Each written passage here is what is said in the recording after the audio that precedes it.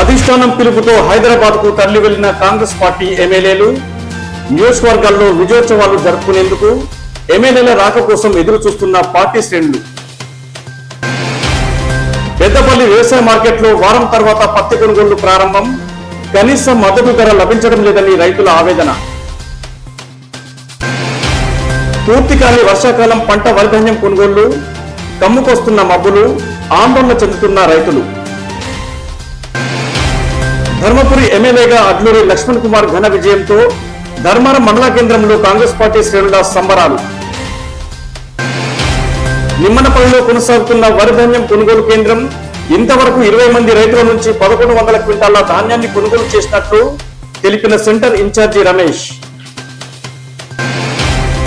నిమ్మనపల్లి నుండి పెద్ద కరోల గ్రామం వరకు వెళ్ళే రహదారి పక్కనే గల విద్యుత్ ట్రాన్స్ఫార్మర్తో పొంచి ఉన్న ప్రమాదం వెంటనే సరిచేయాలని విద్యుత్ అధికారులను కోరిన రైతులు.